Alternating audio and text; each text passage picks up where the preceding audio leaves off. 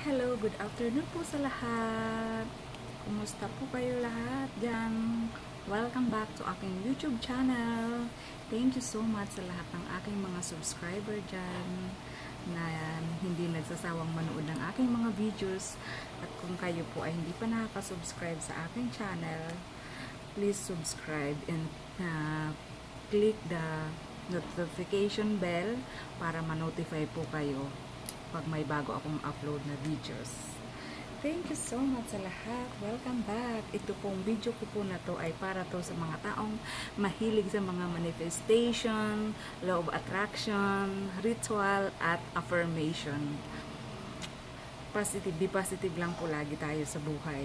Ngayong araw na to ay ituturo ko sa inyo kung paano tayo gumawa ng pampaswerte sa ating wallet para hindi tayo mawawalan ng pera tayong pera lagi araw-araw para masaya ang buhay. Yes!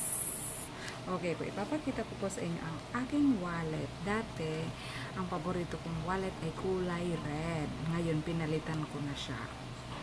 Kulay brown. Kasi, naniniwala ako at may paniniwala din ang iba na ang kulay brown ay isa din sa kulay na maswerte pagdating sa wallet. Dati kasi ang paborito kong color is red. Halos lahat ng gamit ko is red. Pati ang wallet ko is laging red. Pero sa napansin ko, kahit na maraming pera, mabilis, mabilis lang siyang maubos. Kasi masyado akong magastos. Waldas ako sa pera. Kaya ngayon, kailangan palitan ko na ang ganong ugali na masyadong magastos. Ngayon, para hindi tayo mawala ng pera, gumawa tayo ng pampaswerte. Ilagay natin sa wallet natin. Ipapakita ko pa sa inyo kung ano yung mga nilalagay ko. Nilalagay ko sa wallet ko. Kasi, napansin ko, umpisa nung ginawa ko to, umpisa nung ginawa ko tong mga pampaswerte na to sa wallet ko. Dati hindi ako gumagawa ng mga ganito eh. Pero, dahil sa turo sa akin ng kaibigan ko kasi nga lagi kang may tip araw-araw pero bakit minsan nawawalan ka ng pera? Kasi magastos ako. Pero para hindi ka magastos at hindi ka mawalan ng pera gumawa ako ng mga pampaswerte. Ipapakita ko sa inyo. Ito yung matagal ko na siguro mga 2 years na to. 2 years na tong wallet ko na to. Binili ko siya sa Green Hills. Ito po. Papakita ko sa inyo ito, nilagay ko dito is yung dahon ng laurel. Tatlong piraso siya na dahon ng laurel. Tatlong pirasong dahon ng laurel. Tapos nilagay ko siya sa nilagay ko siya sa plastic at ilalagay ko siya sa nilalagay ko siya lagi sa wallet ko. Hindi ko siya tinatanggal. Matagal na siya. Nung nagpalit ako ng mga wallet ko, hindi ko winawala talaga tong dahon ng laurel kasi yung dahon ng laurel isa siya sa pinaka pampaswerte, mabisang pampaswerte. Hindi lang dito sa Pinas, kahit sa ibang bansa. Dahil napanood ko din siya, napanood ko din ito minsan na may gumagawa din sila ng mga ganito. Tapos, isa to sa pinaka number one na ginagamit ko sa wallet ko. Tapos, ito pa, ito yung ampaw. Ito yung ampaw, hindi ko din siya winawala dito. Ang nakalagay dito sa loob ay yung sinunog ko na. Sinunog ko na dahon ng laurel. Bago ko siya sinindihan sa kandila sinulat ko doon lahat ng gusto ko at nag-wish ako. Tapos yung pinakaabo niya nilagay ko siya dito. Ngayon tapos meron pa din akong isa pa. Yung bulak So, kasi yung bulak, di ba magaan? Magaan yung bulak. Kaya, ang ibig sabihin nito, para magaan din ang pasok ng pera sa wallet nyo. Kaya, hindi kayo mawawala ng pera lagi sa wallet.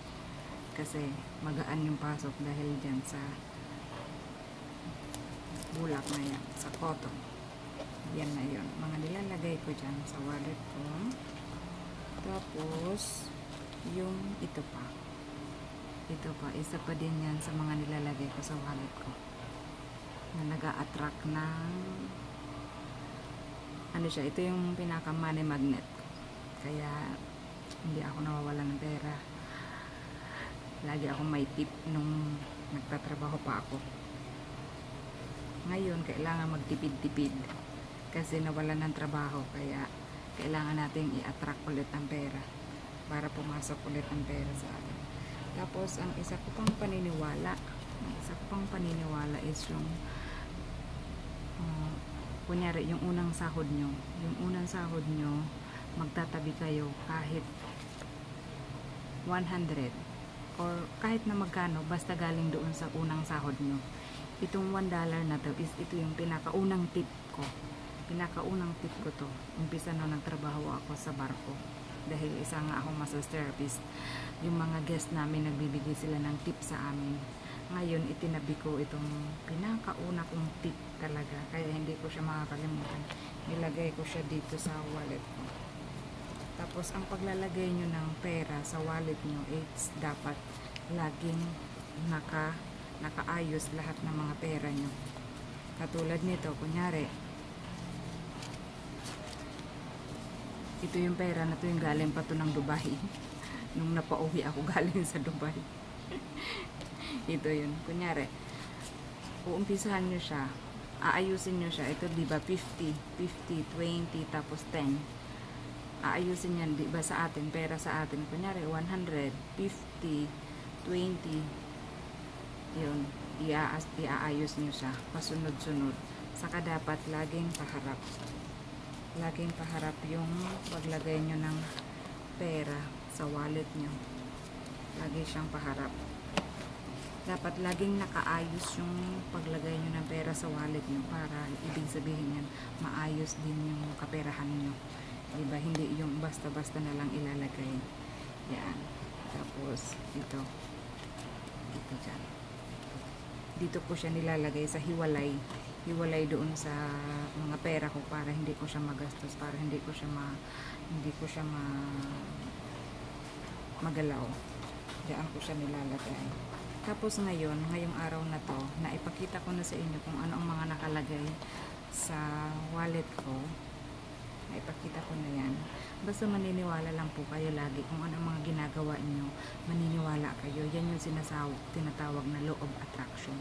Kung ano yung sinasabi niyo at iniisip niyo at mangyayari yan sa buhay mo. Buhay mo. Okay? Ito. Ngayon, ang gagawin ko naman ngayon is mag-a-attract tayo. I-attract natin yung mas malaking halaga na gusto nyong matanggap o gusto nyong mahawakan basta pag ginawa nyo to, maniwala lang kayo na mahahawakan nyo ang ganun, ang ganun kahalagang pera. Kunyari, um, ako ang sinulat is magkaroon ng ganito. Yan. Yan. Sinulat ko yan. 20 million. 20 million kasi naniniwala ako na pag nagkaroon ako ng ganitong halaga, hindi ko na kailangan magtrabaho pa. Hindi ko na kailangan mag-abroad uh, sapat na to para magkaroon ako ng business para makasama ko na ang pamilya ko. Kaya ito ang nilagay kong pera. At habang sinusulat ko to gamit ang green na green na panulat kasi ang green is yung uh, symbol siya ng wealth kaperahan. Kaya ang sinulat ko dito is 20 million. Habang sinusulat ko yung makakaroon ako ng 20 million makakaroon ng 20 million kakaroon ako ng 20 million pero sa isip ko lang sa isip ko lang yun at sinasa puso ko at naniniwala ako na magkakaroon ako ng ganyan kalaking halaga. Okay basta kung ano yung gusto nyo kung ano yung gusto nyo makuha na halaga isulat nyo lang dito. At huwag kayong at huwag kayong mag-aalinlangan. Dapat positive lagi positive lang lagi. Ngayon isinulat ko siya sa malaking papel malinis na papel white paper tapos habang sinusulat mo siya yun sinasabi mo yung ganun. Tapos tutupiin nyo na siya. Kasi pag natupi na natin to ilalagay natin siya dito sa wallet natin at hindi natin siya tatanggalin hanggat hindi natin nakukuha ang ganitong halaga na wini-wish natin. Ganito.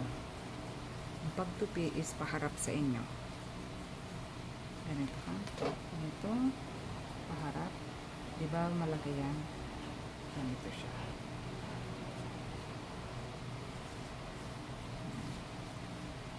sasabihin nyo, habang tinutupi nyo, di ba unang tupi nyo ng ganito, sasabihin nyo, or kung magkano yung halaga na gusto nyo na isinulat nyo dito, sasabihin nyo na, ako, kunyari, ako, sasabihin ko na 20 million mapapa sa akin ka. 20 million mapapa sa akin ka. Ito, unang tupi ko ganito, di ba? Una kong tupi ganito. Yan. Tapos panggalawang tupi ulit, ganyan.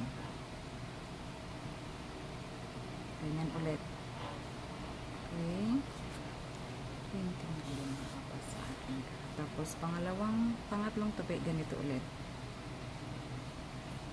20 million mapapa sa akin ka. Bubulong nyo siya naniniyo. Tapos pangatlong tupi, apat na tupi, ganito ulit.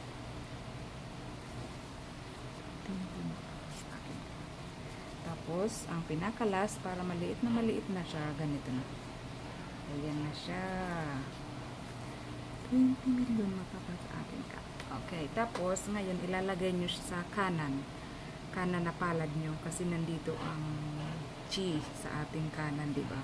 Gaganon nyo siya.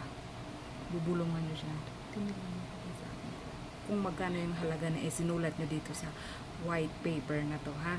Bubulungan nyo dito. Gaganyan nyo siya.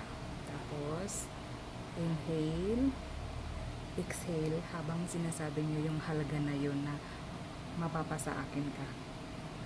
20 million mapapasa akin ka? 20 million mapapasa akin ka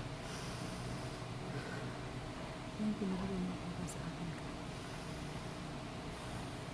20 million mapapasa sa akin ka. Tapos, ngayon, pagkatapos nyo mag-wish dito ng ganitong halaga, habang ginagawa nyo din siya, habang naka nandito siya sa palad nyo, mag-wish kayo ng mga good intention nyo. Okay? Lalagay niyo siya kunyari bakit mo kailangan bakit mo gusto magkaroon ng 20 million? Gagamitin mo kunyari para makatulong ka sa ibang tao mas hindi pa nangailangan sa iyo magkaroon ka ng sariling business magkaroon ka ng maraming savings magkaroon ka ng sariling bahay ihipan nyo yan dito. Sasabihin nyo yan lagi dito habang nakatupi yan dito sa palad nyo okay? Tapos ngayon ang gagawin na natin ay ilalagay na natin siya sa wallet. Doon sa pinakatago tagong-tagong doon sa pinakadulo. Sa pinakadulo ng wallet nyo nang walang makakita na kayo lang makakita. Pinakatago. Ilalagay ko dito sa pinakatago ng wallet ko. Tapos pag nailagay nyo na siya, araw-araw, hahawakan nyo yung wallet nyo at sasabihin nyo na yung ganong halaga. Lagi nyo sasabihin yung ganong halaga na inilagay nyo doon na mapapasa inyo yun. Lagi nyo hahawakan yung wallet nyo na doon. 20 million mapapasa akin. 20 million mapapasa akin. 20 million mapapasa. Araw-araw. Araw-araw nyo hahawakan nyo yung wallet nyo na yan. Tapos, think positive lagi. Lagi nyo iisipin na matutupad lahat ng mga winish nyo dito na inilagay nyo dito. Kasi kung ano yung iniisip nyo, yun ang mangyayari sa buhay nyo at ina-attract. Ia-attract niya yun, yung halaga na yun dito. Mapapa, mapapasayo yun at mapapapunta dito sa wallet mo.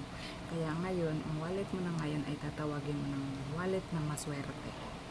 Okay? Pero wag lang din tayong aasa lagi sa mga pampaswerte. Kailangan pa rin natin magtrabaho at lagi pa din tayong hihingi ng gabay kay Lord kasi siya ang nakakaalam ng lahat. Yung mga ganito na to ay pang gabay lang to, mga pang paswerte lang to sa buhay. Wala namang masama kung gagawin natin to. Okay? Uh, thank you so much po sa lahat sa lahat manood ng aking video na to at may mga nauna na po akong mga may mga nauna na akong video na about sa mga pampaswerte pwede nyo po siyang panoorin mamili lang po kayo doon kung ano yung gusto nyong gawin kung alin yung mas komportable sa inyo na gagawin nyo maraming salamat po thank you so much uh, please subscribe me po sa hindi pa po nakaka-subscribe sa aking channel Bye! God bless you all. Thank you so much!